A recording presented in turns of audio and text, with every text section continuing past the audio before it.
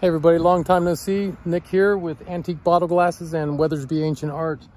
Uh, today we're at a soda dump site uh, where I dig these uh, St. Petersburg bottling works and I turn all these into drinking glasses for people uh, locally here.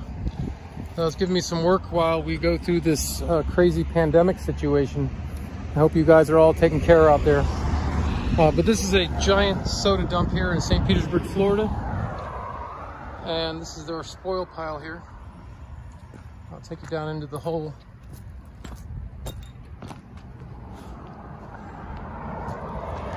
So I decided to get out of the house yesterday and come back to this site that I've previously dug, but we didn't go deep enough, so we're down into another layer here where we're getting a lot of new bottles. Uh, once we clear this spoil back, we're about down at five feet and the bottles just are all through here. There's actually two layers. This is kind of like the dug layer up here. Then there's a sand cap. That's why the people stopped digging. They thought it was the end. But then there's another layer of older bottles down below here. So uh, today we're just digging all this out as much as possible. We're staying a good, we're not getting in the hole together. Uh, some interesting things that came out. I found this Hutchinson bottle here. It's a Brooksville Bottling Works. I found that and gave it to Dave right away because he's given me all the St. Pete bottles he finds.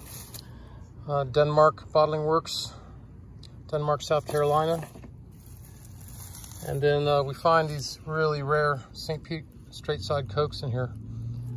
There's probably only about 10 of these known uh, before we found this site, before I found it. And some other neat stuff. He's got a jug found, but it's got a broken bottom. We're finding pieces to it. Did that piece fit, Dave? Yeah. It did? Get out! One last sliver left. Oh, a sliver. Yeah. That Digger Dave with me today. He's really helping me out. And we got this we big got, old jug here. It doesn't have any some printing on it, but oh, there's the let's stay away. Oh. Perfect yeah, that's a, a, whole St. Pete that came out of there. St. Pete Bottling Works. But that jug is killer, and we found the pieces to the bottom. Yeah. There was two pieces, and amazingly enough, he found the pieces. There's one more left. Wow, look one. at that, man. There's one. Yeah, a little bit more. Yeah, there you go. And then there's one that goes here. I cannot believe that you found that. Oh, you need one more piece left. Yeah. That's amazing. Well, you're in the right layer. We might find it. Probably. Yep. So I had to get out of the house. Um, we're probably going to be locked down soon here in St. Pete, but it hasn't happened yet. I've been really keeping away from people.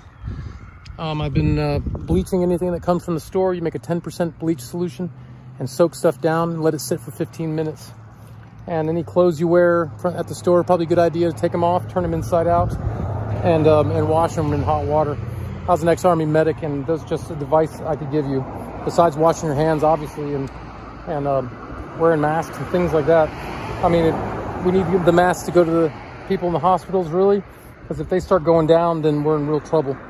Uh, I just wear a bandana and I've got a couple old uh, construction masks that are so dusty and gross that that the hospital workers wouldn't be able to use them. But I use that just as a, as a protection anyway.